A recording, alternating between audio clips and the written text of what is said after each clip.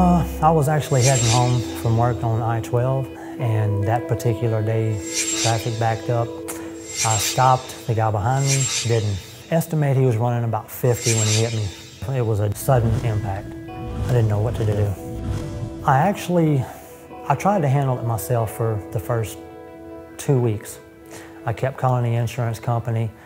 They never would call me back. I never could get in touch with anyone. The, st the stress alone that it can put, put you under is just unbelievable. So finally, I said, okay, let's find somebody that can help. Dudley DeBosier was the first ones that came to mind, so I picked up the phone and made the call.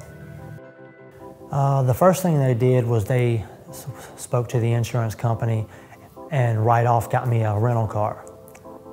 That took a, a heavy load off my head.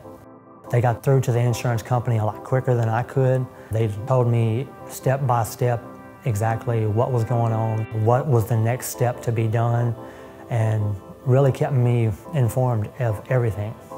I felt like, okay, something's gonna get done now.